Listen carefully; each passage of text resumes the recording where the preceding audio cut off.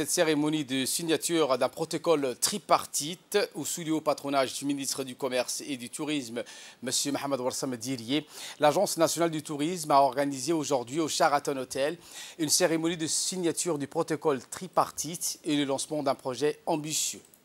Une initiative qui est réalisée en collaboration avec l'Agence française de développement, l'AFD, et des Explorers visant à capturer et distribuer l'inventaire du patrimoine naturel, culturel et humain de Djibouti.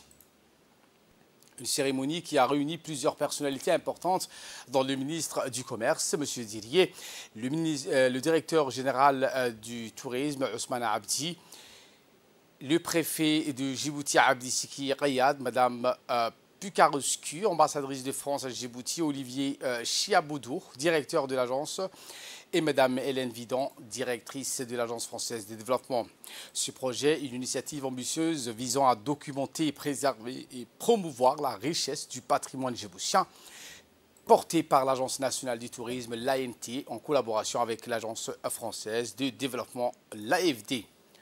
Ce projet s'inscrit dans une démarche de valorisation des ressources euh, locales. Cette cérémonie qui a débuté avec la présentation du projet du Olivier euh, Chiaboudou. Mais sur les rendus qui va avoir un impact, je, n'en doute pas, assez important. Euh, ça, nous permet d'apporter cette petite pierre à l'édifice du développement du tourisme à Djibouti. Et, à travers un projet qui va bénéficier euh, donc, non, seulement au gouvernement, mais à l'ensemble des opérateurs privés du secteur, dont, certains, dont un certain nombre sont représentés ici parmi nous aujourd'hui. Je suis fière et je tiens à remercier les équipes de, l'AFD et de l'Institut et bien sûr les, équipes qui viendront sur le tournage avec Olivier. C'est aussi euh, une action de formation. Parce que pour beaucoup de, jeunes, alors oui, ils sont à l'aise avec l'image, mais c'est quand même un métier, la production.